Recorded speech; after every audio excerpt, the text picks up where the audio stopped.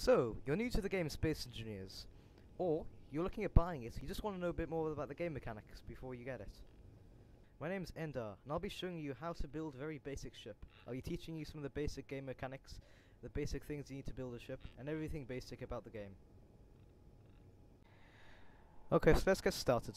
Now the first thing you need to do to build a ship is you need to open the toolbar selection menu. This can be done by pressing G. Now you need to get a, a light armor block to build the framework of your ship. You can build a platform on which to build your essentials of the ship.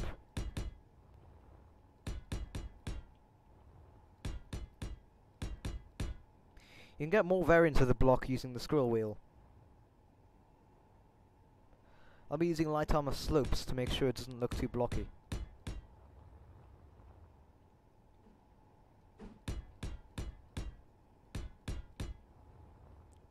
If you need to delete blocks, press the right click. Now you might see that this is getting a bit boring, placing them on every side of the ship. So, what you can do is press M to open the symmetry selection menu. Cycle that until you get the one you want. Place that down using left click, then press it again until it cycles back to the blocks. You can then use this to place the rest of the blocks on your ship.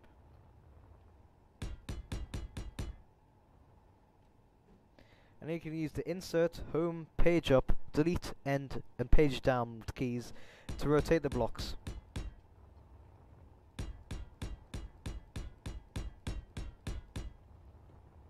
So now what your ship needs is a reactor to make power. We'll get a big one because it's uh, provides a lot of power since we're going to be using a lot bigger thrusters for this one. So now get some thrusters. Now these ones are a bit small, so we'll scroll that until I get a bigger version. And so we'll place these on the sides of the ship. In between these we'll place some more small ones by scrolling it again. And then we'll place another big one at the very end. Now here we'll place some smaller ones, like going up and down. Now you may have noticed we've got thrusters in all directions. This is so we can move all ways. And so now what you need to do is cover cover this all with armor. You don't need to cover things with armor, just it makes it look a lot better. It also means if you ever get in a fight with weapons that we'll cover in the next episode, it means that you're able to survive a lot longer.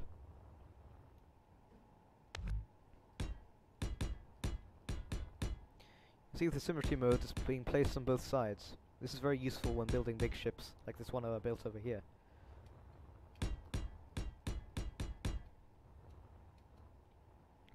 And now if you want, you can place another two big thrusters here.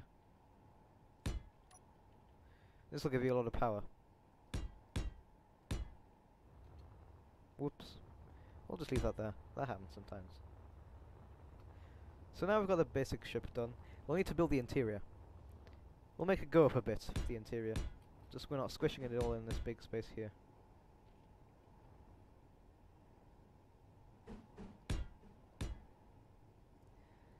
Because it's nice to have a small cozy interior.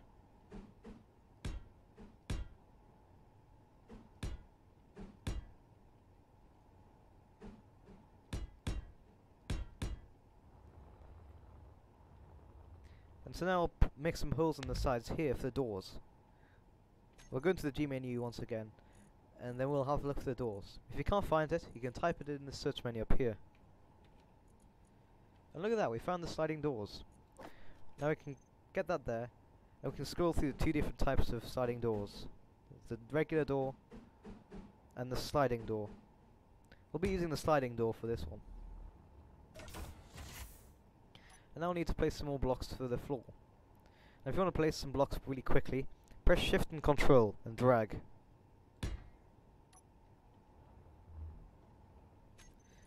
Now need uh, the most important part of a ship, control stations. They actually allow you to control the ship. You may be noticing that when I'm selecting a block, it goes instantly to the menu. That's by using the right click. And so I'll get some windows to place on the windows of the ship.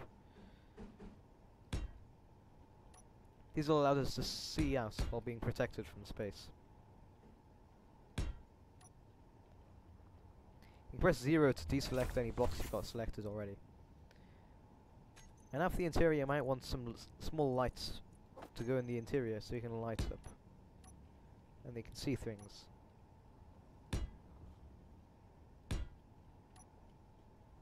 And so that's the basic ship done. Oh wait, we've forgotten something. Gyroscopes. Gyroscopes allow your ship to turn. There. We'll just place them inside here. You can really place them anywhere, as long as they work. And so there we got our ship done. It's an extremely basic ship, and we'll go some over some better ways to build ships in the future. But this is an alright ship, it goes quite well.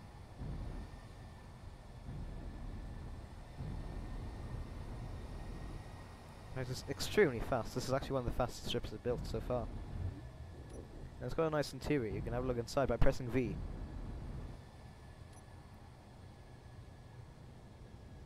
So that's this done. I'll be going over a more complex ship and building one of them in the next episode.